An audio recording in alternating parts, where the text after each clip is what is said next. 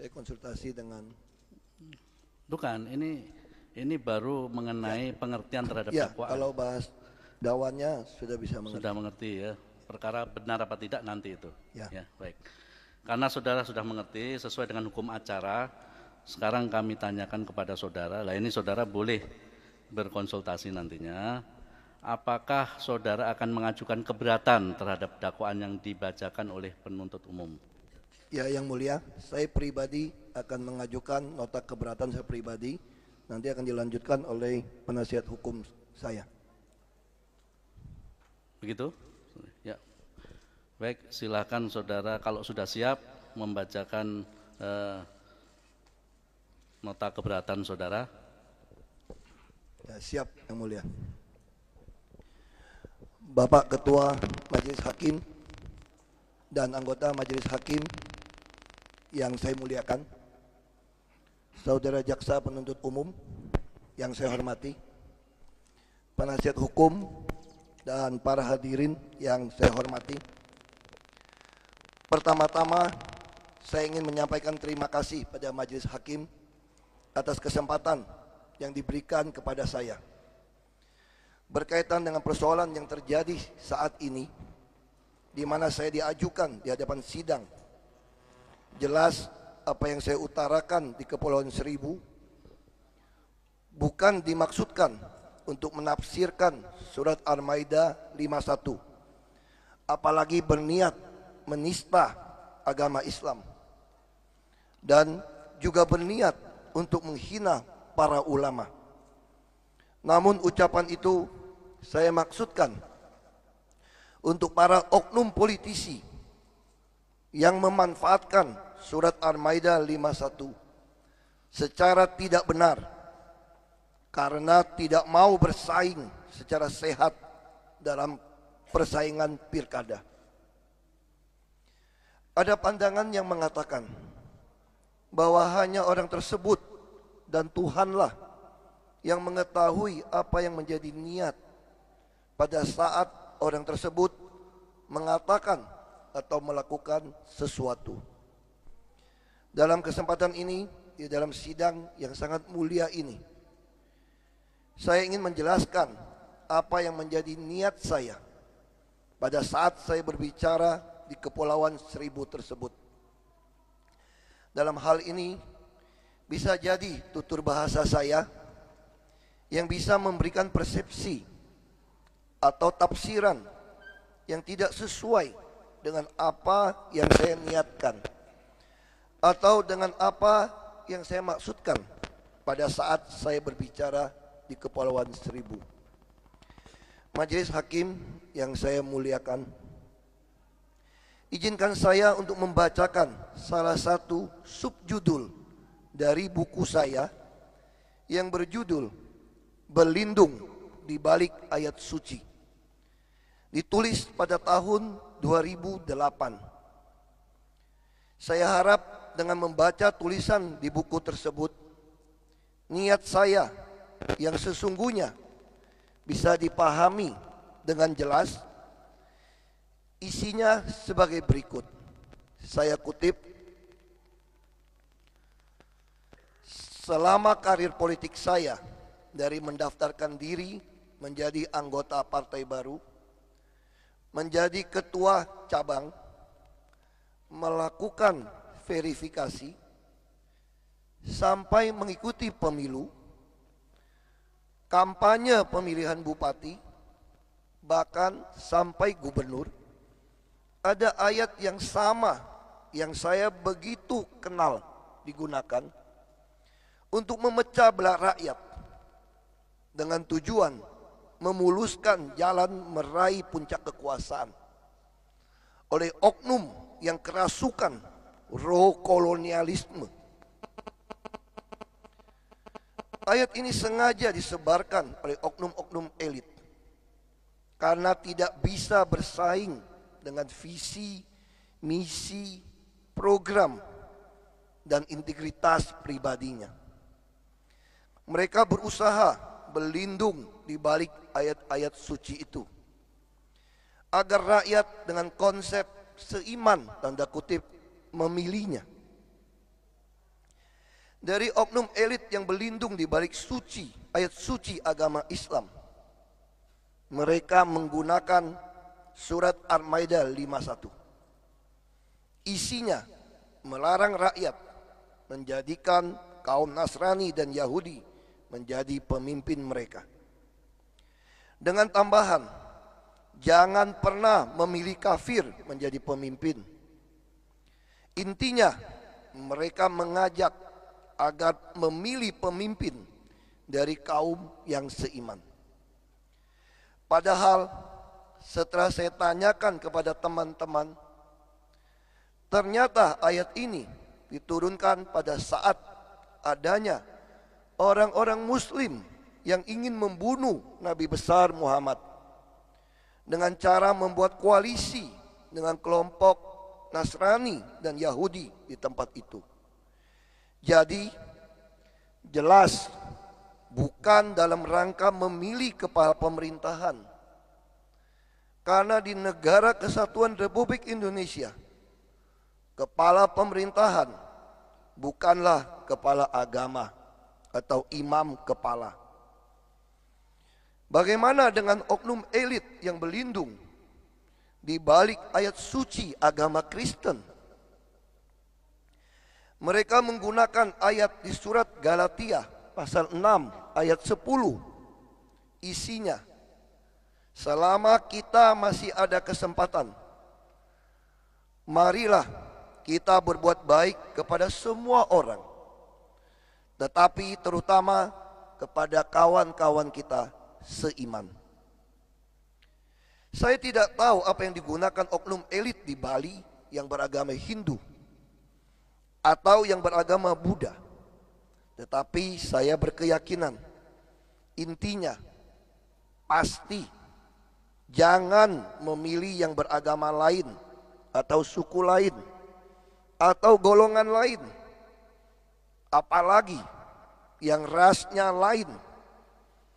Intinya pilihlah yang seiman sesama kita dalam kurung suku agama, ras, dan antar golongan. Mungkin ada yang lebih kasar lagi. Pilihlah yang sesama kita manusia. Yang lain bukan. Karena dianggap kafir atau najis atau binatang. Karena kondisi banyaknya oknum elit yang pengecut dan tidak bisa menang dalam pesta demokrasi. Dan akhirnya mengandalkan hitungan suara berdasarkan sesuku, seagama, seras, dan seantar golongan tadi. Maka betapa banyaknya sumber daya manusia dan ekonomi yang kita sia-siakan. Seorang putra terbaik bersuku Padang dan Batak Islam tidak mungkin menjadi pemimpin di Sulawesi, apalagi di Papua. Hal yang sama, seorang Papua tidak mungkin menjadi pemimpin di Aceh atau Padang. Kondisi inilah yang memicu kita tidak mendapatkan pemimpin yang terbaik dari yang terbaik. Melainkan kita mendapatkan yang buruk dari yang terburuk. Karena rakyat pemilih memang diarahkan, diajari, dihasut untuk memilih yang sesuku, seagama, seras, dan antar golongannya saja. Singkatnya, hanya memilih yang seiman. Kasarnya, yang sesama manusia. Demikian kutipan dari buku yang saya tulis tersebut. Majelis Hakim yang saya muliakan. Dalam kehidupan pribadi, saya banyak berinteraksi dengan teman-teman saya yang beragama Islam. Termasuk dengan keluarga angkat saya almarhum Haji Andi Baso Amir yang merupakan keluarga muslim yang taat. Selain belajar dari keluarga angkat saya, saya juga belajar dari guru-guru saya yang taat beragama Islam dari kelas 1 SD negeri sampai dengan kelas 3 SMP negeri. Sehingga sejak kecil sampai saat sekarang saya tahu harus menghormati ayat-ayat suci Al-Quran. Jadi saya tidak habis pikir mengapa saya bisa dituduh sebagai penista agama Islam. Saya lahir dari pasangan keluarga non-muslim. Bapak Indra Cahaya Purnama dan Ibu Bunyarti Ningsi alias Chung Kim Nam dan Bun Nencau. Tetapi saya juga diangkat sebagai anak oleh keluarga Islam asal Bugis bernama Bapak Haji Andi Baso Amir dan Ibu Haja Misribu binti Acah. Ayah angkat saya, Andi Baso Amir, adalah mantan Bupati Bone tahun 1967 sampai tahun 1970. Beliau adik kandung mantan Panglima Angkatan Bersenjata Republik Indonesia, almarhum Jenderal TNI Purnawirawan Muhammad Yusuf.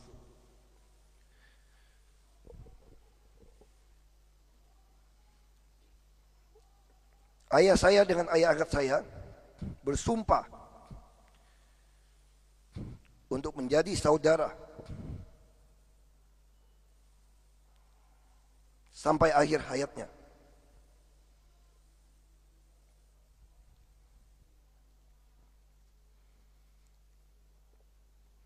Kecintaan kedua orang tua angkat saya kepada saya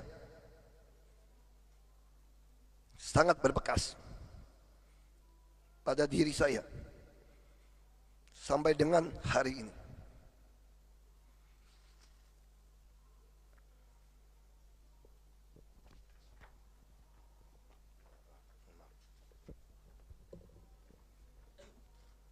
Bahkan uang pertama masuk kuliah S2 saya di Prastia Mulia dibayar oleh kakak angkat saya Haji Anata Amir yang juga hadir di persidangan ini.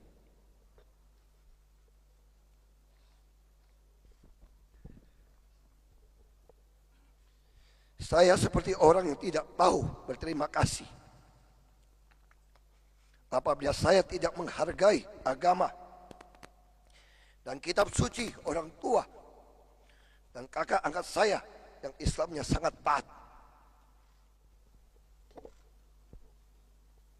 Saya sangat sedih. Saya dituduh menista agama Islam.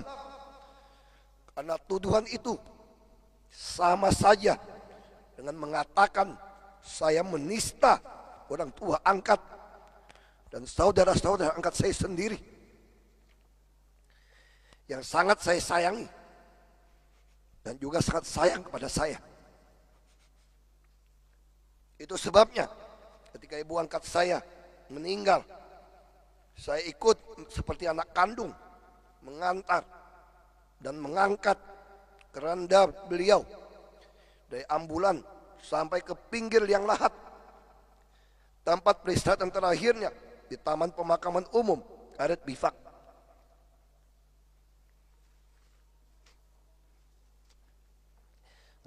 Sampai sekarang saya rutin berziarah ke makam ibu angkat di Karet Bifak.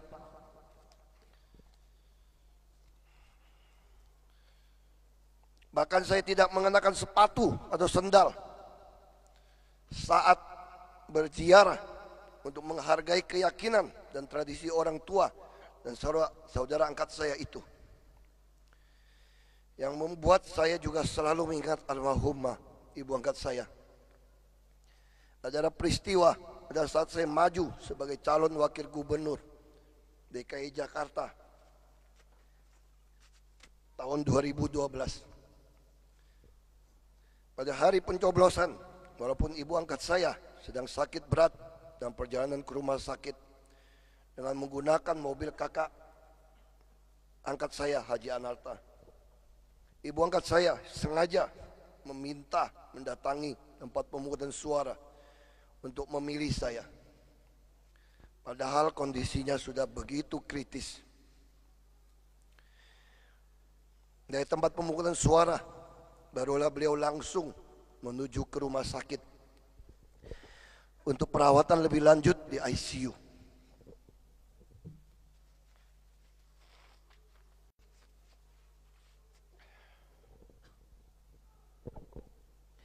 Sudah dirawat selama enam hari. Ibu berdoa dan berkata pada saya dan masih terus saya ingat dan masih akan saya ingat. Kata beliau,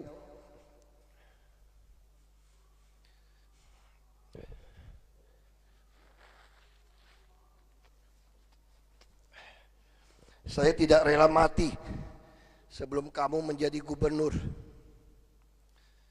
Anakku, Jadilah gubernur yang melayani rakyat kecil.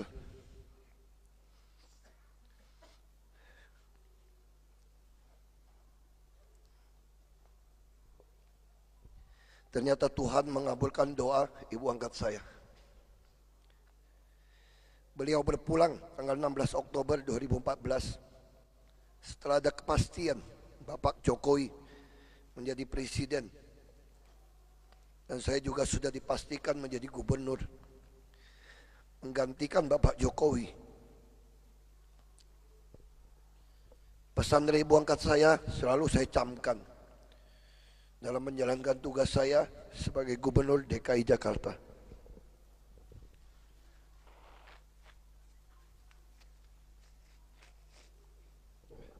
Mohon maaf Pak Hakim.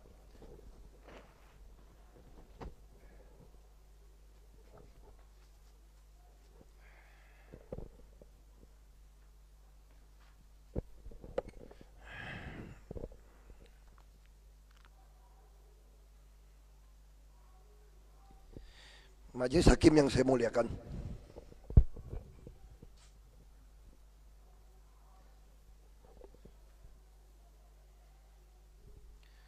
Sebelum menjadi pejabat secara pribadi, saya sudah sering menyumbang untuk pembangunan masjid di Belitung Timur.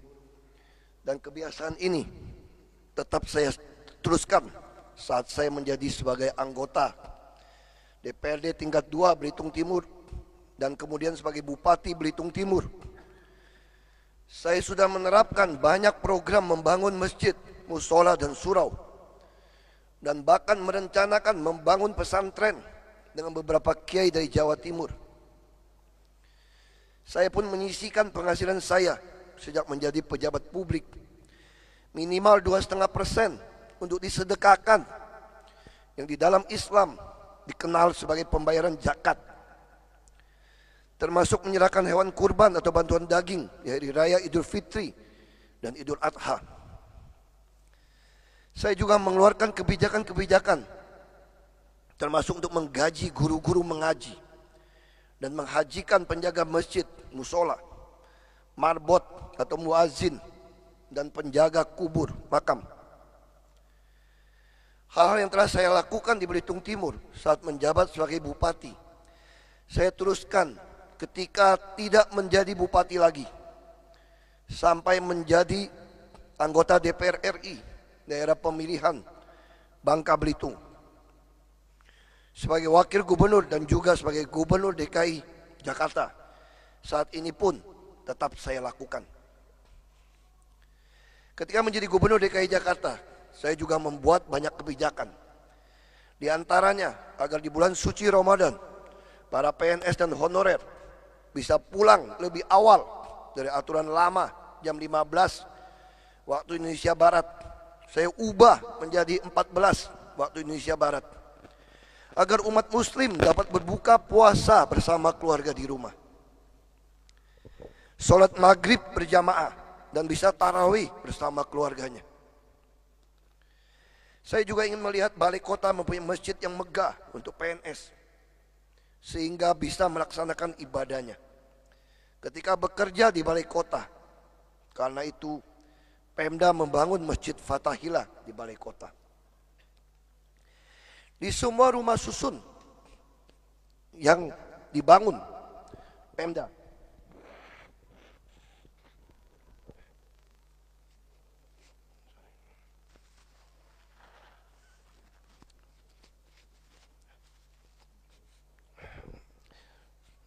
Di semua rumah susun yang dibangun Pemda, juga dibangun masjid, bahkan di Dan Mogot, salah satu rusun yang terbesar. Kami telah membangun masjid besar dengan bangunan seluas 20.000 meter persegi agar mampu menampung seluruh umat muslim yang tinggal di rusun dan mogot. Kami jadikan masjid tersebut sebagai salah satu masjid raya di Jakarta. Kami akan terus membangun masjid raya besar di setiap rusun. Kami akan terus membantu pelaksanaan masjid yang ada. Dengan cara Pemda akan membeli lahan yang ada di sekitar masjid. Sebagaimana beberapa kali saya sampaikan dalam pertemuan-pertemuan dengan tokoh-tokoh Islam maupun pengurus Dewan Masjid Indonesia di Balai Kota. Para marbot dan penjaga makam juga Pemda umrohkan. Kami juga membuat kebijakan bagi PNS menjadi pendamping Haji Kloter DKI Jakarta. Saya berharap bisa melaksanakan amanah orang tua dan orang tua angkat saya untuk melanjutkan tugas saya sebagai gubernur di periode yang akan datang. Sehingga cita-cita saya untuk memakmurkan umat Islam khususnya di Jakarta dapat terwujud. Majlis Hakim yang saya muliakan. Saya berani mencalonkan diri sebagai gubernur sesuai dengan amanah yang saya terima dari almarhum Gus Dur. Bahwa gubernur itu bukan pemimpin, tetapi pembantu atau pelayan masyarakat.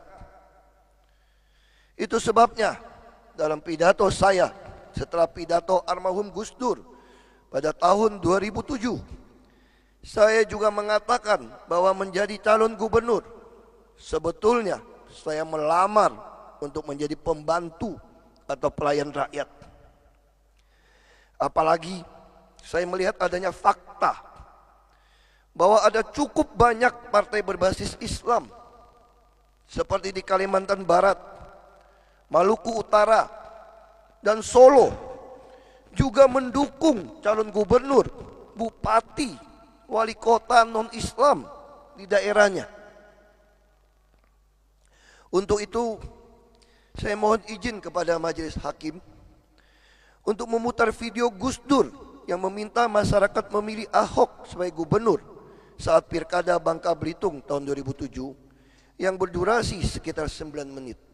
Apakah diizinkan majelis hakim yang mulia?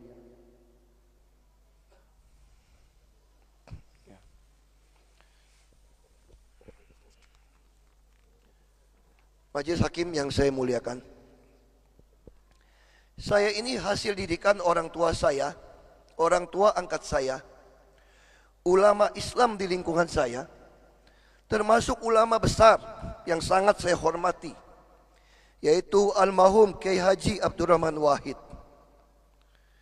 Yang selalu berpesan menjadi pejabat publik sejatinya adalah menjadi pelayan masyarakat sebagai pribadi yang tumbuh besar di lingkungan umat Islam. Tidaklah mungkin saya mempunyai niat untuk melakukan penistaan agama Islam dan menghina para ulama. Karena sama saja saya tidak menghargai orang-orang yang saya hormati dan saya sangat sayangi.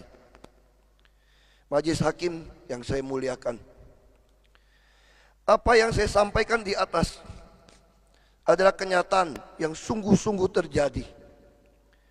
Dan saya juga berharap penjelasan saya ini bisa membuktikan tidak ada niat saya untuk melakukan penistaan terhadap umat Islam dan penghinaan terhadap para ulama.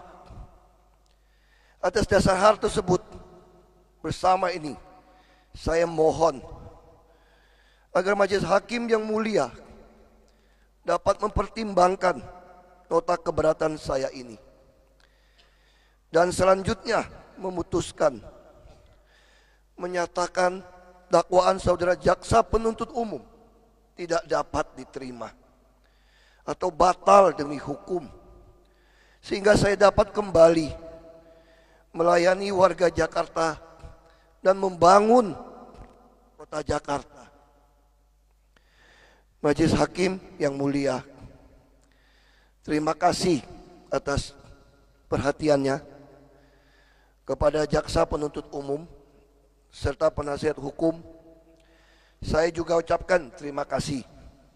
Jakarta 13 Desember 2016. Hormat saya Insinyur Basuki Cahayapurnama MM ditandatangani.